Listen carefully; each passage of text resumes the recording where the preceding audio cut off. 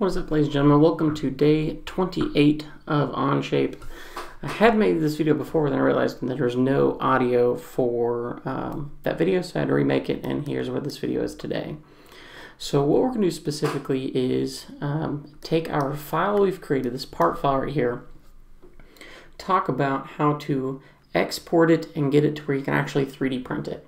So if you already know how to use your 3D printer and you already know how to use STLs and things like that, this video is not for you. Move on to the next one and have a good day.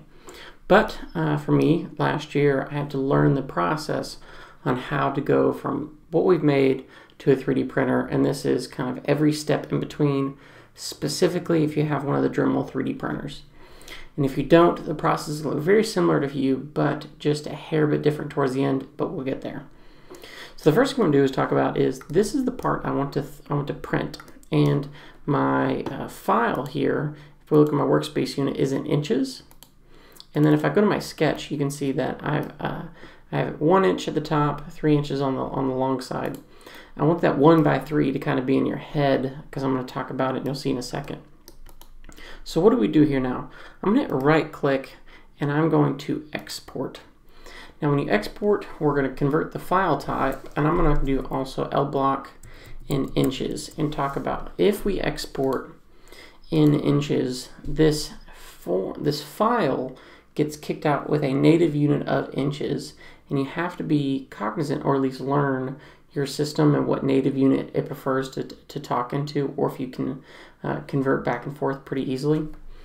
And then the format here is going to be all the way down at the bottom, and that's going to be STL, uh, which is stereolithography. It's a super old format for 3D prints It's just worry about what does the outside of your object look like. Resolution, if you got complicated parts, you might want to kick that up, but a more uh, high resolution causes your prints to last or take longer to make. So I'm going to keep that as medium and then click OK. All right, and so when we go over to our 3D printer, and we're going to import this. So this is the Dremel uh, Digilab 3D slicer that if you have the Dremel um, 3D printers, you're going to download this, install it, and upload it. It's going to ask what kind of printer you have, I have the 3D 45s. And so what I'm going to do here now is um, go ahead and open this file and do L block inch. And we notice is my block comes in really small. And that's because the native units of my uh, slicer environment is actually in millimeters. So what I've learned is how to do is when I'm dealing with this material, I want to export it to millimeters rather than inches. So I'm going to keep that there. I'm going to go back to Onshape really quickly. I'm going to right click. We're going to export these again, but we're going to do L block in, excuse me. Shoo. And this time we're going to do millimeters. So units, millimeters, click OK.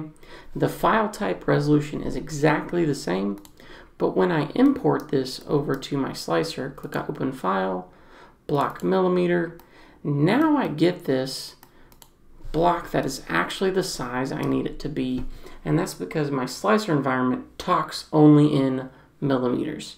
There's ways to change that up, but I'm going to keep this as the default program is millimeters. So for me, I know as I tell my students, export to millimeters, and then we'll change it from there if we need to. Okay, so now the next thing we'll talk about is, I'm going to get this out of here, I'm going to delete on that, is good printing setup. And so under here for the recommended, there is uh, the recommended tab.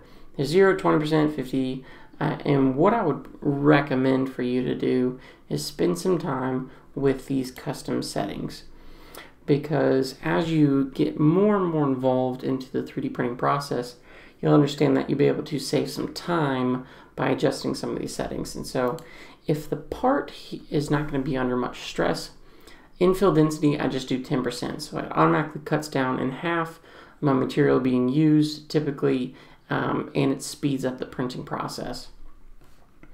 Support is the next thing, and so we want to generate support everywhere. And so um, support is if my object has an overhang, it's going to 3D print material underneath it to build up to that overhang. So if I've got this part right here, for example, and I'm going to multiply real quick, and I had an overhang. Let's rotate this around. This part right here, like so.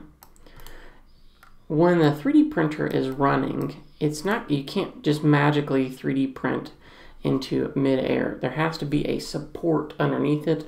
And so the support right here is if you have printing, printing something as an overhang, you do typically want to generate that support. And then the last thing, which I consider the most important, would be the build plate adhesion. If you're building something that is really complex and your, uh, your printer head's going to be jogging around a lot, you really want to use uh, this raft build plate. And so what it'll do is it'll create a nice first layer of adhesion and then build on top of it. That way your, your part doesn't or tends to less want to curl or come off the build plate because that first layer is definitely the most important. And so right now, uh, let's talk about this. If I were to click prepare, so what it's going to do, and this is the job of the slicer, is to slice layer by layer on how this 3D printer is supposed to work. So if I click on this view mode and I show layers, we can see as this 3D printer will go up, there's our first support layer, our first adhesion layer, some good adhesion. Uh, if you're not used to 3D printing, I really recommend adhesion plates. They snap off pretty well, um, but if you get more and more adept into it, really have a high calibration, um, maybe that adhesion is not so much worth it or needed. And so as it builds up, we can see that the red is the outside of my surface. The yellow is that infill, so we got 10% infill right now. And then on top of it, as it continues to go up, we can see the support layer is to support this first layer of actually material for our object. And then it kind of ends at the top. And so uh, what we want to do is we want to produce objects, unless we need specifics on what the layers look like, you typically tend to want least amount support as possible. Don't waste that plastic. So what I'm going to do is go back to solid, and we can rotate this back around. That way it's standing straight up again. There's a couple things I want to talk about is uh, these little commands on the left side right here. And so you can move your 3D prints up and down, left and right. It'll do a pretty good job automatically snapping it into the plate uh, if you do something wrong. So like say for example, if I try to print it where half my model is there, it'll do a pretty good job of snapping into place. There we go. When you are above your build plate. And so, and if you also try to run into something else too much, it'll scoot things around kind of as needed. Scale is pretty easy. Um, it just does the scale of your object. If you want to larger make it smaller. And then rotate. Rotate's probably the one that's most important when you're 3D printing things. You want, you know, yeah, your top face, your front face typically to be the top of your build or your, your 3D print, um, so on and so forth. And then there's a couple of settings in here that you can tinker around with, but other than that, we are good and we're ready to go. So this is this is the thing I want to 3D print. What I'm gonna do is hit prepare. It it will tell me approximately how long it'll take to print. So this will be almost a five hour print. It is a pretty big part um, right now. Um, and so I typically uh, tend to bump down that infill density if it's something not necessarily going to be on a whole lot of force or stress. Um, but that is about the approximate for print, that couple hour range for something kind of simple like this. Okay guys, if you have any questions, comments, concerns, feel free to throw them down in the comment section. This video hopefully has going to have some audio to it. You can hear it to me this time. Uh, up next soon, we're going to do some videos on trammels and doing some of our first revolutions and mates and constraints. And I'm really excited for the next kind of couple videos.